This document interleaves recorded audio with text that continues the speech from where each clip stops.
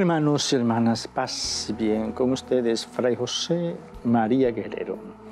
En este subprograma La Biblia ilumina tu vida, su canal Televida, el canal católico de la familia, su escuelita de espiritualidad, contenido la filiación divina.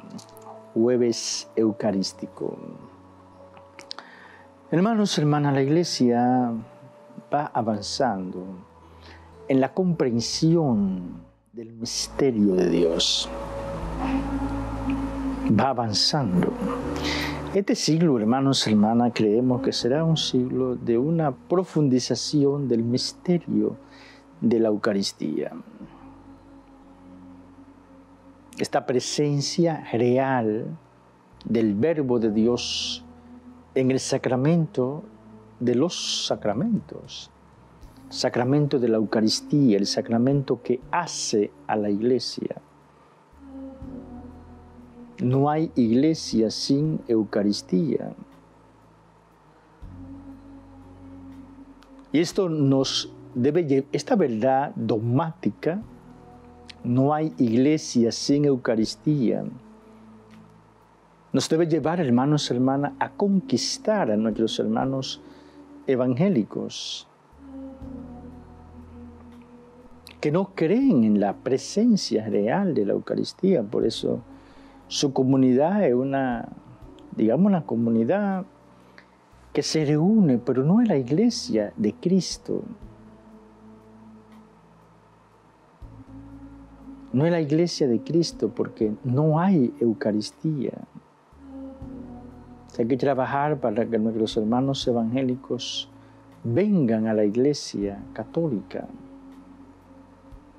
vengan a la Iglesia Católica, donde se celebra la Eucaristía. La Eucaristía hace a la Iglesia y la Iglesia a su vez hace a la Eucaristía.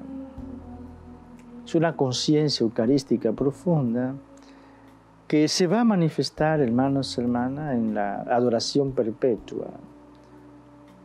La conciencia de la presencia real, que el maestro nunca debe estar solo. Donde está Dios se le adora. Donde está Dios se le adora.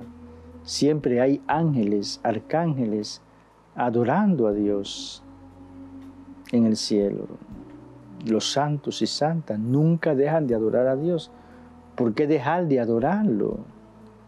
Donde Él está sustancialmente presente. La conciencia eucarística, la conciencia de la presencia. Que crezca, que crezca esta conciencia, hermanos, hermanas. Un privilegio de los religiosos, de la religiosa, de los sacerdotes, es tener a Jesús en nuestros hogares, tener un sagrario. Pero cuántas veces, hermanos, hermanas, Jesús se queda solo Jesús se queda solo, no recibe la visita de sus sacerdotes, de sus religiosos y religiosas. Solo se le visita cuando se celebra la Eucaristía o, la liturgia de las horas. Hermanos, hermanas, vidamos esta conciencia eucarística, esta conciencia de la presencia Siempre digo que cuando esto llegue, la conciencia de la presencia será un motivo, una motivación vocacional, que los jóvenes, ellos y ellas, quieran eh, hacerse religiosos y religiosas, sacerdotes, sacerdotes, para vivir permanentemente con Jesús en nuestros hogares. Jesús vive, está en el sagrario. Pidamos, hermanos, hermanas, esta conciencia de la presencia. Jesús está en cada sagrario. Está allí esperándonos. Está allí para bendecirnos. Recuerdo en una ocasión fui al seminario Santo Tomás de Aquino, donde me formé como sacerdote y después de hacer la diligencia me iba.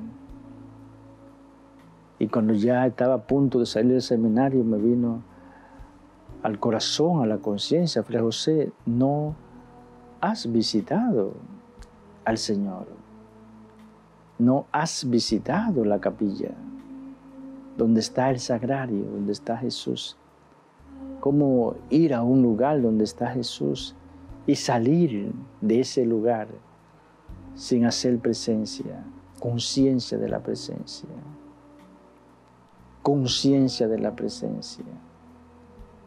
Cómo no visitar al Salvador, cómo no visitar al Redentor, cómo no visitar al amado, cómo no visitar al Hijo de Dios, conciencia de la presencia. Que crezca, hermanos, hermanas, en este siglo XXI, en la evolución espiritual de la Iglesia Católica, la conciencia de la presencia, la conciencia de la presencia de Jesús en la hostia consagrada, en el sagrario, y la conciencia de que la conciencia de la presencia se enfoca también en otra dimensión desde la espiritualidad de la filiación divina, la conciencia de que soy hijo de Dios. En Él vivimos, nos movemos y existimos. Dios está en mí, mi esencia es divina. Démonos prisa, hermanos, hermanas, y promovamos la adoración perpetua, el rezo del Santo Cenáculo, la adoración a Jesús, Eucaristía. Capítulo 8, hermanos, hermanas, de la carta a los romanos, capítulo intenso, denso, verso 2. Porque la ley del Espíritu que da la vida en Cristo Jesús te liberó de la ley del pecado y de la muerte. La ley del Espíritu la ley del espíritu, un término preñado de sentido. La ley del espíritu, la ley, la ley del evangelio, que me libera de la muerte, del pecado. Te liberó de la ley del pecado y de la muerte, la ley del espíritu, la ley del evangelio. El Evangelio, mi adhesión al Evangelio, hace que mi fe crezca. Y la fe me dice que yo he sido liberado del diablo, del mundo y de la carne por el poder de la Pascua de Cristo. He aquí la ley del Espíritu, hermanos, hermanas. El Evangelio, Espíritu y vida. El Evangelio de Jesús, Espíritu y vida. Pero sabemos, hermanos, hermanas, que Dios Padre nos ha liberado del pecado y de la muerte a través de la Pascua de su Hijo, de la pasión, muerte y resurrección de Jesús. He aquí la ley del Espíritu, el Evangelio de Jesús y la Pascua de Jesús, que nos liberan de la muerte, del pecado, de todo aquello que nos esclaviza de todo aquello que nos aliena, de todo aquello que nos impide vivir la libertad y la santidad de los hijos de Dios. Adhirámonos, hermanos, hermanas, a la ley del Espíritu, a la ley del Evangelio, a la ley del amor y dejémonos limpiar, dejémonos liberar por la Pascua redentora de Cristo la ley del Espíritu implica el Evangelio de Jesús y la Pascua de Jesús. Porque Pablo dice que esa ley eh, nos liberó del pecado y de la muerte. Nosotros sabemos, hermanos y hermanas, que la Pascua, la pasión, la muerte y la resurrección de Jesús es la ley, es, es el acontecimiento salvífico que nos libera de la muerte y del pecado la Pascua de Cristo. Pero el Evangelio, la adhesión al Evangelio, nos hace hijos de Dios, según Juan.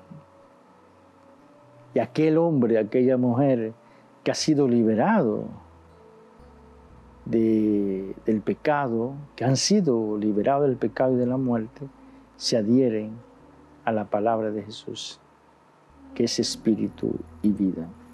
Bien, hermanos, hermanas, dejémonos adoctrinar por este gran hombre, gran apóstol Pablo, gran teólogo, y dejemos que la ley del Espíritu nos libere de la ley de la muerte y del pecado.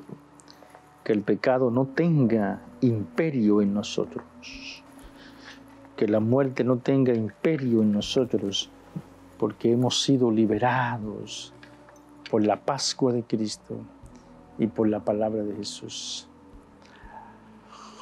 Bien, hermanos, hermanas, adoremos a Cristo sustancialmente presente en la hostia consagrada.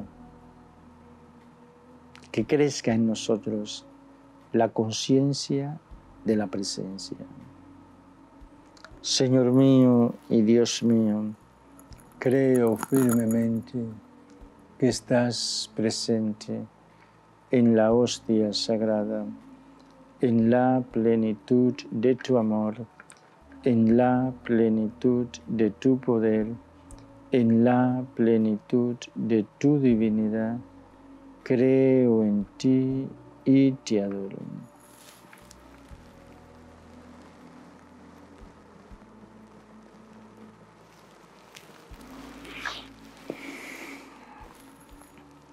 Señor mío, y Dios mío, creo firmemente que estás presente en la hostia sagrada, en la plenitud de tu amor, en la plenitud de tu poder, en la plenitud de tu divinidad.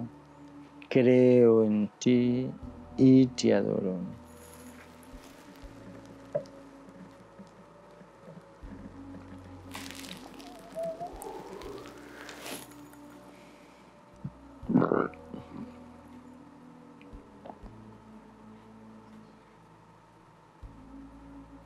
Señor mío y Dios mío, creo firmemente que estás presente en la hostia sagrada, en la plenitud de tu amor, en la plenitud de tu poder, en la plenitud de tu divinidad.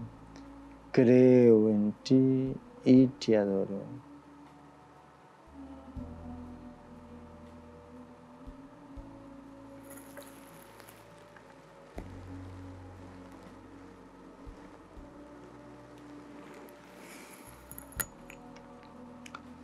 Padre infinitamente bueno, infinitamente santo, infinitamente amado, concédenos el don del Espíritu Santo para que durante la jornada de este día podamos pensar, hablar, sentir, imaginar, y actuar como hijos tuyos a imagen de Jesucristo, tu Hijo amado.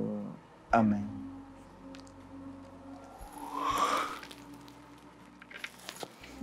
Padre infinitamente bueno, infinitamente santo, infinitamente amado concédenos el don del Espíritu Santo para que durante la jornada de este día podamos pensar, hablar, sentir, imaginar y actuar como hijos tuyos a imagen de Jesucristo, tu Hijo amado Amén. Padre infinitamente bueno, infinitamente santo, infinitamente amado, concédenos el don del Espíritu Santo para que durante la jornada de este día podamos pensar, hablar, sentir, imaginar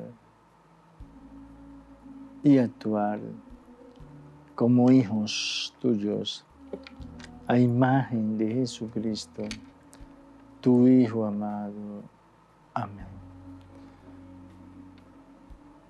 Silencio, intimidad, presencia, adoración. Desciende, desciende Espíritu Santo y danos la conciencia de la presencia. Desciende, desciende, desciende Espíritu Santo.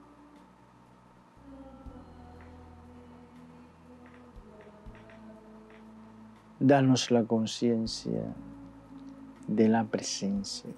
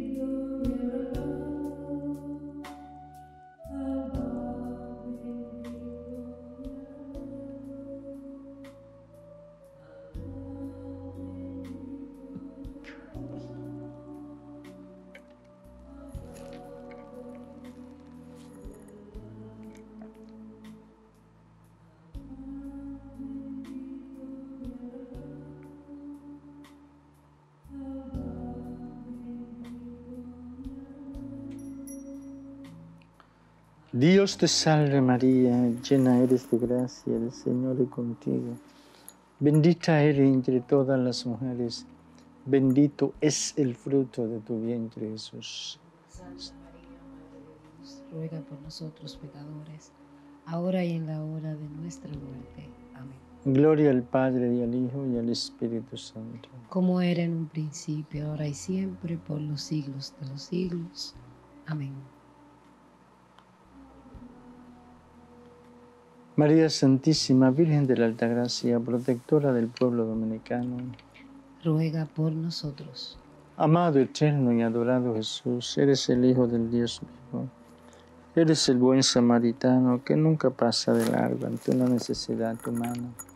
Te suplicamos por la intercesión de María Santísima, de San José, que tú pongas en cada televidente, cada miembro de su familia, el vino que tú sabes le hace falta.